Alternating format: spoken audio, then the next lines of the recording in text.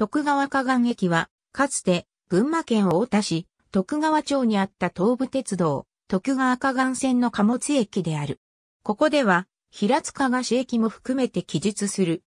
徳川河岸線は、利根川で採取した砂利を運搬するために、伊勢崎線木崎駅と徳川河岸駅の二駅間を結ぶ路線であった。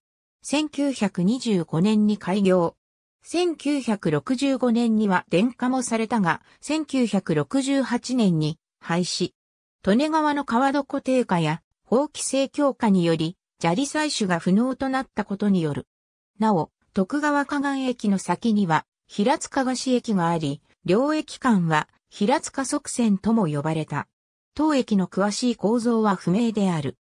徳川河岸駅跡国土交通省国土地理院地図、空中写真閲覧サービスの空中写真をもとに、作成当駅周辺は、利根川と早川に挟まれた田園地帯である。平塚河岸駅は、かつて存在した東武鉄道、徳川河岸線の貨物駅である。当駅の詳しい所在地や構造は不明である。徳川河岸駅の先にあり、両駅間は平塚側線とも呼ばれた。開業及び廃止は徳川河岸駅と同日である。駅名となった平塚河岸は、群馬県伊勢崎市境平塚にあった河岸である。江戸時代、利根川水運の拠点として栄え、元禄までは足尾銅山で産出した銅の積み出しもになっていた。